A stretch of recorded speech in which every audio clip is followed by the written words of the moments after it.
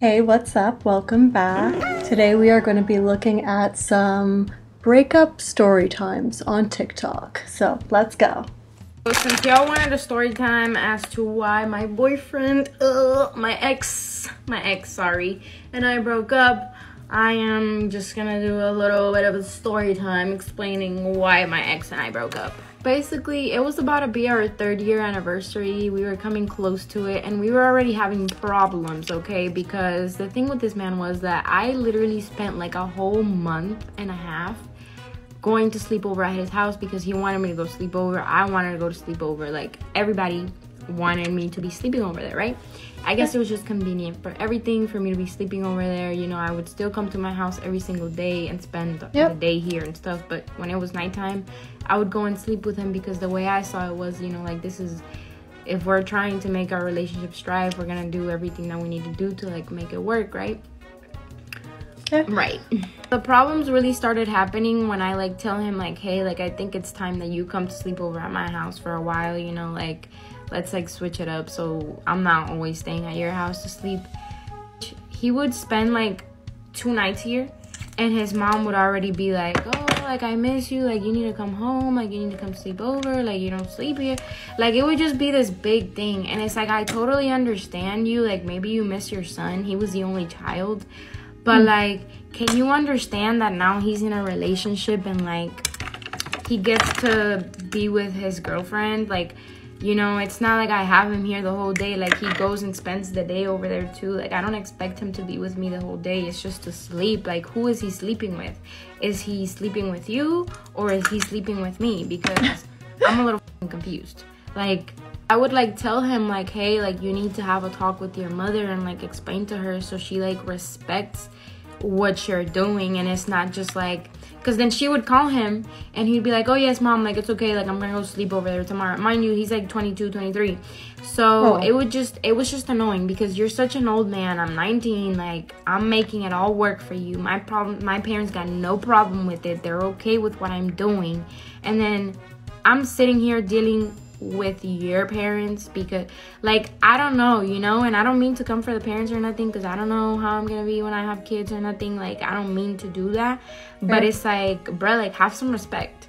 I think that the part that was most annoying was that he would literally tell her like hey like i'm i'm gonna go sleep over there mom. Like just relax. Like it's okay. And he would like promise that. And it's like why are you even doing that when you know you're not gonna want to sleep over there? Like you're gonna want to sleep with me. Like what are you doing? Like why do you even do that? Why don't you just have a serious talk with your mom and like explain to her to just relax? Anyways, go to part two.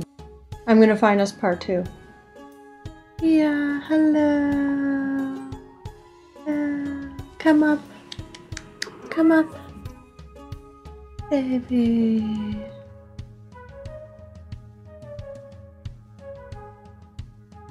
Why my ex and I broke up. If you haven't watched part one, go I found watch it because then it's not gonna make no sense. It got to the hard. point where this man would literally spend a whole hour or two outside in his car just talking to his parents about this both like that was so annoying like there was one night where i come outside and he's literally not in his car like i'm like where the fuck is this motherfucker at bro i call him and he's like super frustrated because you know the, what's happening with his parents.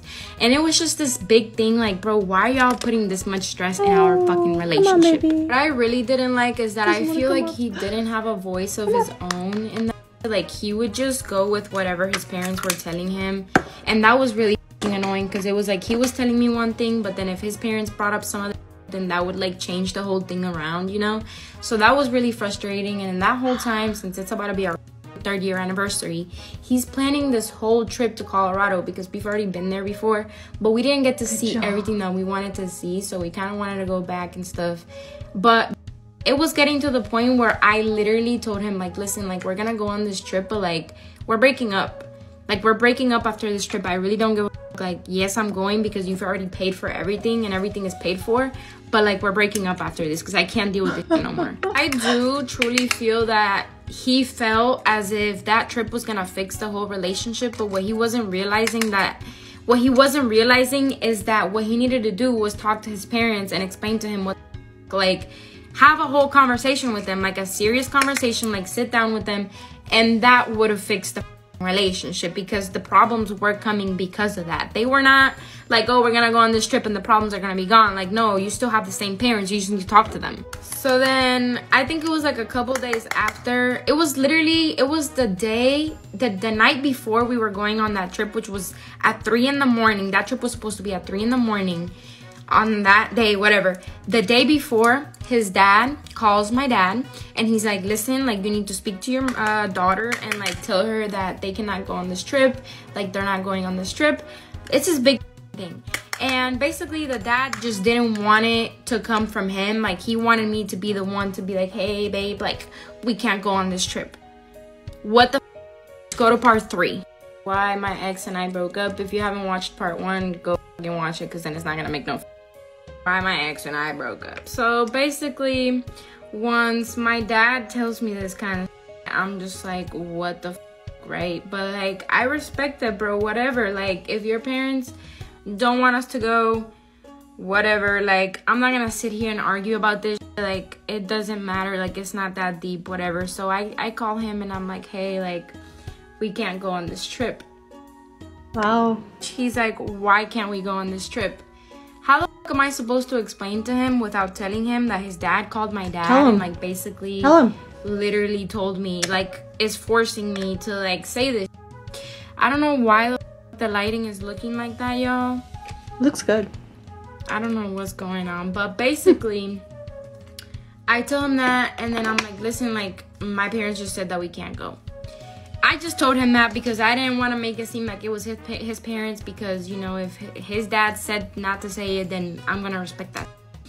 But at this point, this mother literally flips out on me. Like he is flipping out. Like he's cursing. He's getting disrespectful. Like he's getting disrespectful towards my parents. Like he's talking a whole lot of that he should not be talking about because honey this is happening because of your parents i'm just i'm trying to be nice but since you want to get disrespectful i'ma just tell you and be like hey your dad spoke to my dad and he's making all this happen okay? Like i'm just trying to be respectful and go with whatever your dad said because i don't know why he's doing this. I don't know if your dad like talked to you and you flipped out on him too. I don't know what the going on. So i tell him that and he's just like not believing me. He did not believe me. He doesn't believe that his dad called my dad. Wow. And it's like, bro, I have the call. Like, I can see the call right here that the call was incoming from your dad. Okay?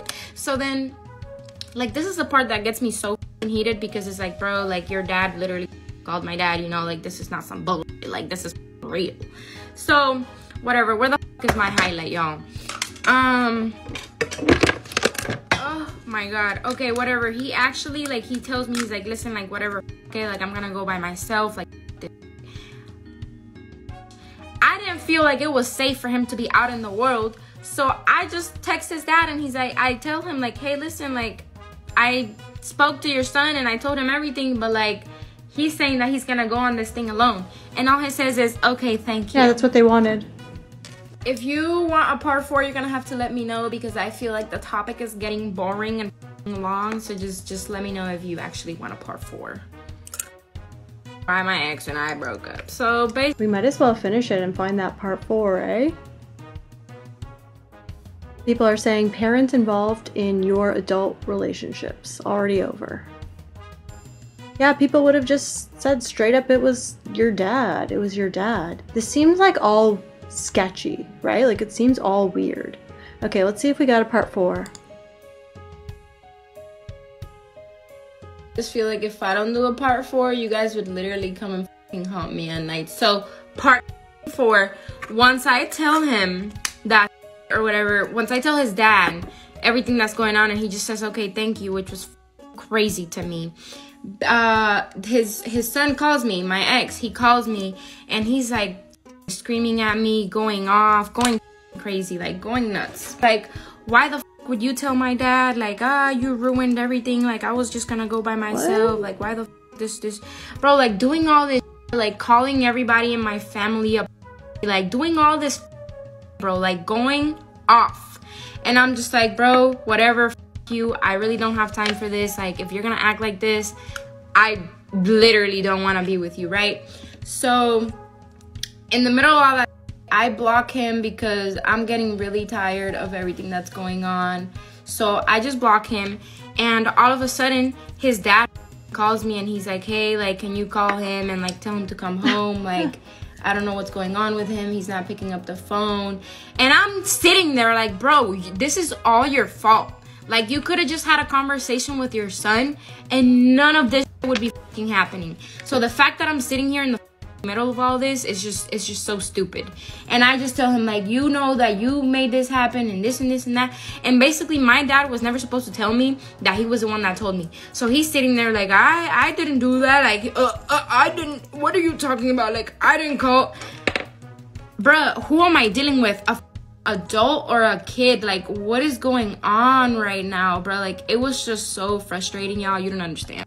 At that point this mother literally starts like emailing me and like telling me like I'm gonna go to your house and I'm gonna ask for the money back. I want my money back. Like you're not just gonna do this to me. I want all my money back from that trip.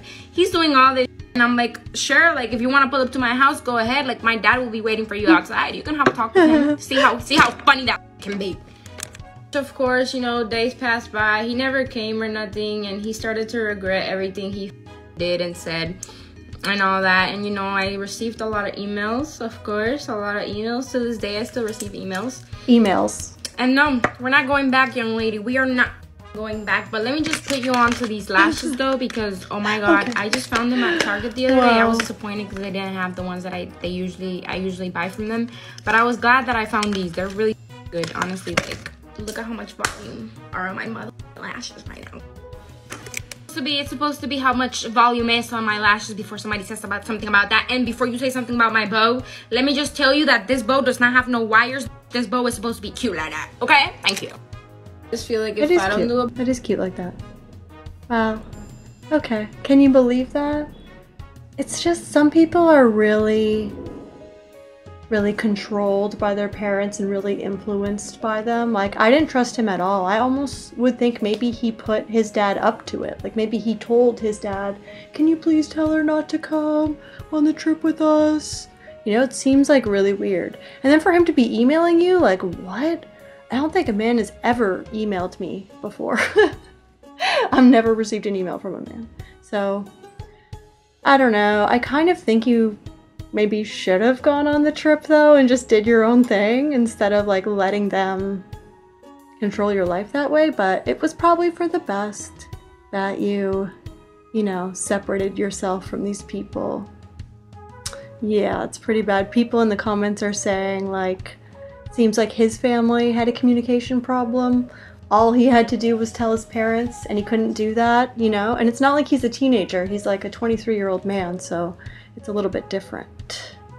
But anyways, that was a good little story time. So why don't we just end it there for today. I really appreciate you being here and I will see you guys in the next one. Bye. Bye.